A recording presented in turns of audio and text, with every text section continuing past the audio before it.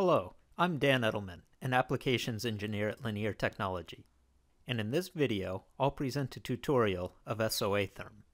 Often, the most challenging aspect of designing hot swap circuits is ensuring that a MOSFET's safe operating area is not exceeded.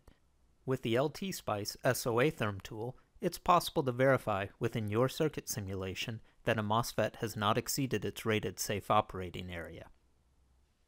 MOSFET datasheets contain a safe operating area, or SOA plot, that describes the maximum time a MOSFET can be exposed to a specific voltage and current.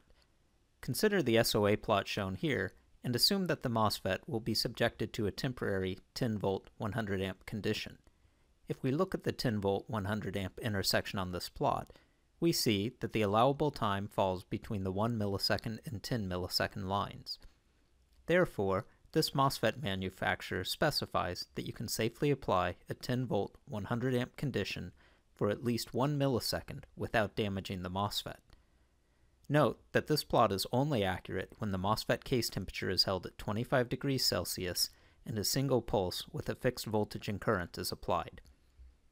As circuit designers, we have become accustomed to thinking about SOA in terms of voltage, current, and time, but in fact, SOA is determined by the peak die temperature of the MOSFET.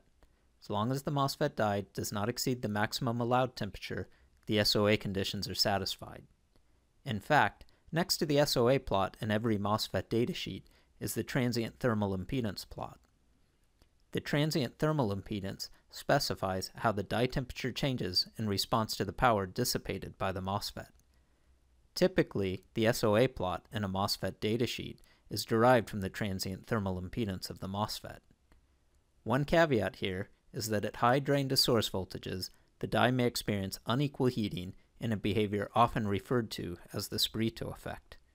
For more information about SOA, transient thermal impedance, and the Spirito effect, see Linear Technology Applications Note, Safe Operating Area, and Hot Swap Circuits.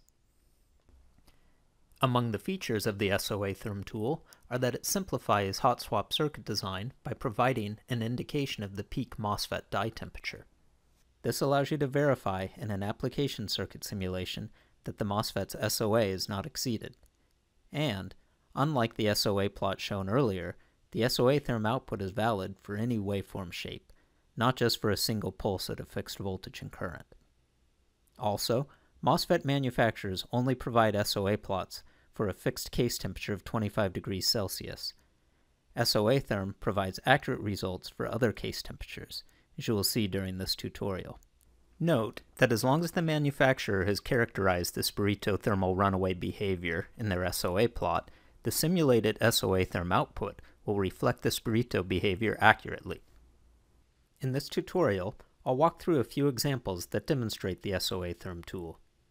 These same steps are outlined in the online article titled LT-Spice Modeling Safe Operating Area Behavior of N-Channel MOSFETs. Let's start by opening an example hot swap circuit. There should be a link at the right side of this webpage to the circuit SOA-Therm NMOS example. Click on this link to open the file in LT-Spice. You should see a circuit that contains the LTC 4260 hot swap controller driving a PSMN 4R8 100BSE MOSFET from NXP.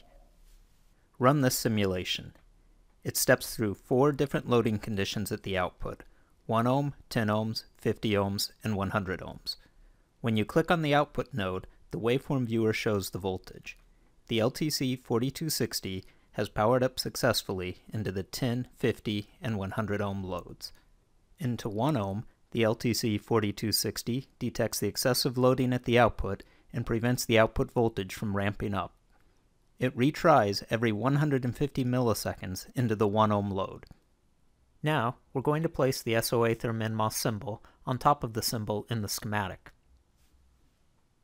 To do this, select Edit Component and type SOA-Therm NMOS. Then double-click on the SOA-Therm NMOS symbol name in the list below. We want to place the SOA-Therm NMOS symbol on top of the NMOS that's in the schematic. Use Ctrl-R to rotate the symbol and place it on top of the NMOS. Do not delete the NMOS that's already in the schematic. Right-click on the eye of the SOA-Therm NMOS symbol. Now, in the SPICE model field, we'll right-click and select the PSMN 4R8 100BSE from the drop-down menu. By doing this, we've selected the thermal model of the MOSFET we're going to simulate in our schematic. Select OK, and you'll see that in our schematic, the name of the thermal model, the PSMN 4R8 100BSE, matches the name on the electrical model that's in the schematic. If that's a little confusing right now, don't worry, it'll become more clear as we go through the rest of the tutorial. Select Edit, Draw Wire, and we're going to draw two wires, one at the TC pin and one at the TJ pin.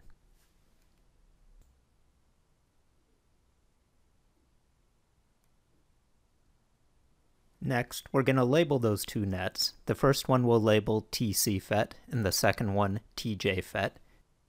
To do this, select Edit, Label Net, and then type TC FET, click OK, and then click on the TC FET net. Then do the same thing for the TJ FET net.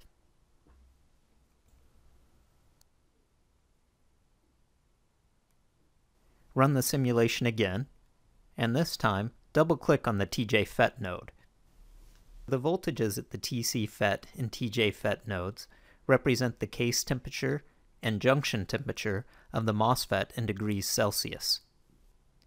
We see that TJ FET reaches 132 degrees C, and it started from 85 degrees C. So at this point, you're probably wondering, why does it start from 85 degrees C? The SOA-Therm symbol has a default ambient temperature value of 85 degrees C. We can change that by right-clicking on the eye of the symbol and changing the T ambient equals 85 to T ambient equals 70. So let's do that now. Run the simulation again, and this time we can see that the TJ FET node has a maximum value of 117 degrees C. If we look at the datasheet for this MOSFET, the PSMN 4R8 100BSE, we see that it has a maximum junction temperature of 175 degrees C. What does this simulation show us? Well, the maximum junction temperature is less than 175 degrees C, so this meets the SOA limits of the datasheet. Be aware, MOSFET manufacturer datasheets for SOA limits are often typical values and require extra design margin to avoid pushing the MOSFET to the edge of its rated limits. So, don't design right up to the edge of the 175 degree C limit. Also note, on the web page that contains this video, there's a link on the right side to an Excel spreadsheet that contains information about the MOSFETs modeled by SOA-Therm. This includes maximum junction temperature and the manufacturer's SOA plots, as well as the modeled SOA-Therm curves. Let's try one more test. Change the gate capacitor from 10 nanofarads to 100 nanofarads by right-clicking on the 10 nanofarads and changing it to 100 nanofarads, and run the simulation again. Look at the TJ FET waveform this time. The maximum junction temperature is now almost 300 degrees C when loaded with 1 ohm. Obviously, this is not a good idea. The slow ramp on the gate results in MOSFET heating, but the MOSFET is not yet in current limit where the LTC 4260 timer starts to run. Let's change the capacitor back to 10 nanofarads and run the simulation again. Instead of looking at the TJ FET node, this time look at the TC FET node. This is the case temperature of the MOSFET. With a 1 ohm load and auto retry enabled, the case temperature walks up with each retry. If this is a possible scenario in your application, either disable auto retry or ensure that the PCB layout and airflow provides adequate cooling. Next, we'll change the theta JA parameter to account for improved PCB and airflow cooling. Every SOA-Therm NMOS library model contains a default R theta JA value from the MOSFET manufacturer's datasheet. When necessary, R theta JA can be changed by modifying the R theta JA attribute. For examples of board area and cooling effects on R theta JA, please refer to the LT 3080 datasheet section Thermal Considerations. In this example, let's change the R theta JA value to 10 and run the simulation again for 60 seconds. To do this, right-click on the eye of the SOA-therm symbol, and next to the T ambient parameter, add another parameter, R theta JA, and we'll set it equal to 10. Click on the OK. And now that we're back in the main schematic, right-click on the dot .trans statement and change the stop time from 2.5 seconds to 60 seconds. Click OK, and then run this simulation. This time, the TC FET node, which is case temperature, rises to 25 degrees C above ambient. Since the MOSFET's dissipating an average of 2.5 watts, and the theta JA is equal to 10 degrees C per watt, this makes sense. Recognize that the SOA-therm NMOS library models do not assume any heat sinking from the PCB or an external heat sink. For more information about modeling heat sink behavior, see the SOA-therm blog. A few warnings.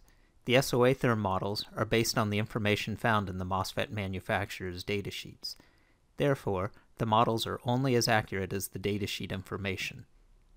Furthermore, MOSFET manufacturers often fail to adequately measure behavior in the high VDS Spirito region, so design with plenty of margin and always verify your circuit on the lab bench under worst case conditions. One final note, don't expect parallel MOSFETs to share current equally when they're operating in the linear region where the drain to source voltage is greater than about 1 volt. If you require that they share current and SOA in this region of operation, they must have separate control loops with gates driven independently. So, now that we've finished this tutorial, where do you go from here? Read Linear Technology Applications Note, MOSFET Safe Operating Area and Hot Swap Circuits. Try other MOSFETs in the SOA-therm NMOS library. And look at the Excel spreadsheet that's linked to at the right side of the web page. Finally, Test your circuit in the lab. Don't blindly trust MOSFET manufacturers' SOA plots, and don't forget that while simulations are a useful tool, they're not a substitute for solder and an oscilloscope.